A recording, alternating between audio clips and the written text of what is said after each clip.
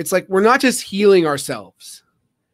And I think this is where people people don't realize this until they get really deep into the work. Um, where it's like, oh, I have all this anxiety. Um, I just have to heal this anxiety. But you're not really healing the anxiety um, because what usually happens is that you inherited that anxiety from like past generations. Um, you know, we call this like generational trauma or intergenerational trauma. And you know, a lot of times traumatic events from the past, they ripple down through generations.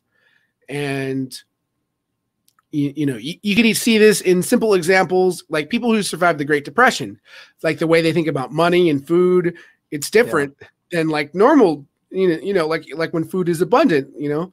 Um, but they teach that to their kids. And and maybe they'll have a lot of anxiety around food and money and they'll pass that on to their kids. And now their kids have this they grew up and they inherited this this generational trauma. It wasn't their it wasn't their fault at all. It was from pre, pre previous generations um, but they're stuck with it.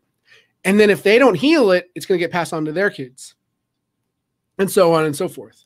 You know for me there's a lot of trauma for me my family there's a lot of sexual trauma a lot of sexual mm. trauma, a lot of a lot of violent trauma um, passed down from generation to generation.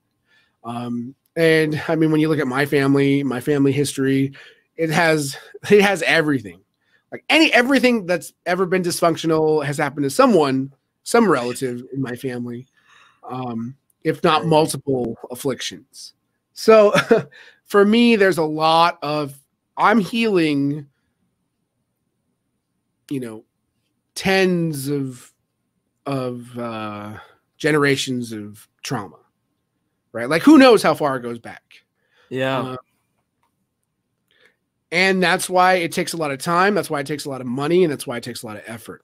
Is you're not just working on your own issues; you're working on the issues of your parents, your grandparents, you know, your aunts and uncles. You're working on all of that, like everything that's been passed down to you. That's what you're working on. That's also why it's so expensive um, a lot of guys, they, you know, they get frustrated. They're like, why does it take so much time, so much effort to just fix these things for me to be normal? Yeah. And on one hand, I do kind of get the frustration because it's like, why can't I just be normal? Um, but that's not how life works. So the sooner you accept that life doesn't work that way, the sooner you can let go of all this frustration. Right? The frustration comes from focusing on things you can't change.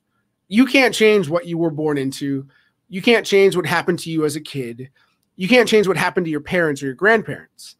Uh, but you can change what's happening now.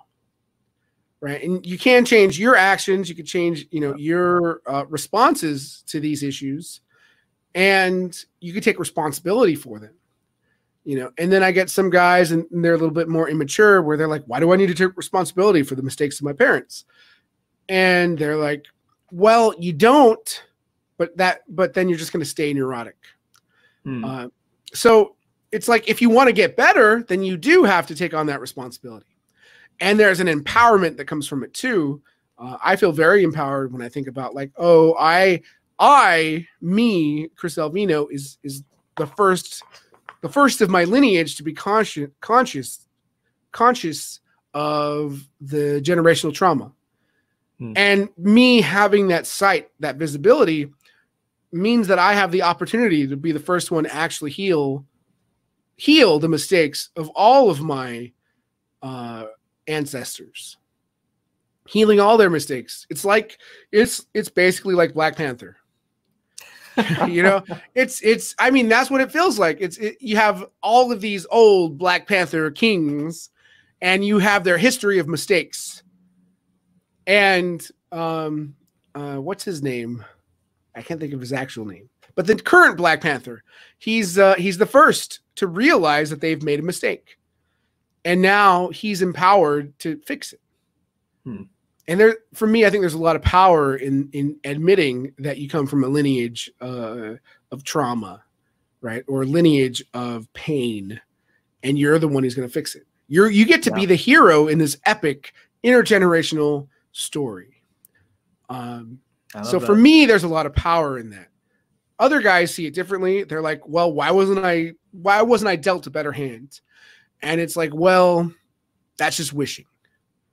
right? And uh, I love the phrase you could wish in one hand and shit in the other and see which hand fills up first. Um, I think my, well, you know, that that's definitely said in my family a lot. and it's like, yeah, it's true. You could keep wishing, um, or you could actually do something. Um, and so for me, again, I'm all about effective action. I'm all about like doing things that actually work. And worrying and fretting or wishing doesn't uh, uh change anything.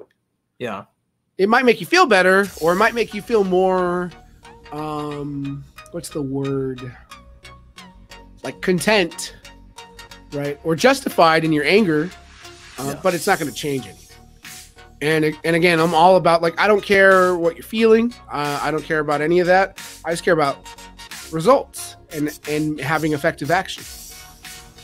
So you know part of this is you got to ask yourself is it worth it to fret or can you just start taking responsibility and taking action?